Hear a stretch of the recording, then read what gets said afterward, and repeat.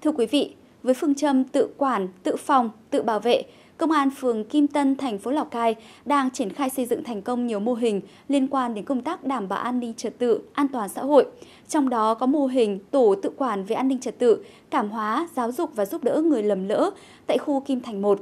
Mặc dù mới đi vào hoạt động, nhưng bước đầu đã cho thấy hiệu quả tích cực. Mới chấp hành xong án phạt tù về tội gây dối trật tự ở địa phương, anh Đê ở tổ 2 phường Kim Tân luôn nhận được sự quan tâm động viên của cộng đồng.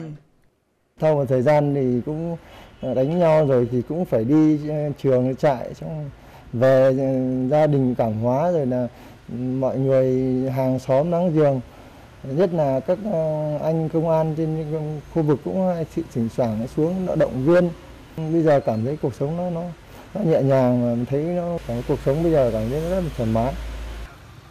Mô hình tổ tự quản về an ninh trật tự, cảm hóa, giáo dục và giúp đỡ người lầm lỡ khu dân cư Kim Thành 1, phường Kim Tân có 9 thành viên với sự hỗ trợ của công an phụ trách khu vực.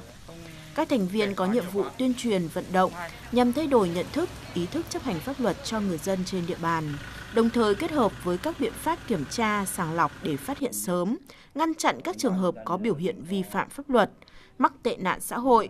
giúp đỡ những người lầm lỡ tái hòa nhập cộng đồng.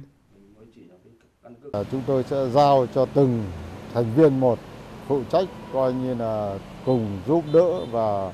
hàng ờ, thường xuyên gặp gỡ gia đình trao đổi và coi như là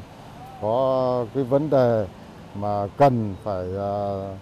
Ờ, tập trung coi như là giải quyết thì chúng tôi sẽ tập trung giải quyết. Trên địa bàn phường Kim Tân, thành phố Lào Cai, hiện có 11 mô hình tự quản về an ninh trật tự, an toàn xã hội. Trong 9 tháng của năm nay, các tổ đã góp phần giải quyết, ngăn chặn thành công nhiều vụ việc liên quan đến an ninh trật tự ngay tại cơ sở, gắn với việc thực hiện công tác phòng chống dịch, vận động được 10 đối tượng nghiện ma túy tham gia cai nghiện tập trung.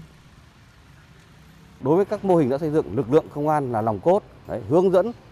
các khu dân cư về các công tác chuyên môn nghiệp vụ và thường xuyên phối hợp tuần tra đảm bảo về công tác phòng chống tội phạm và tuyên truyền nhân dân.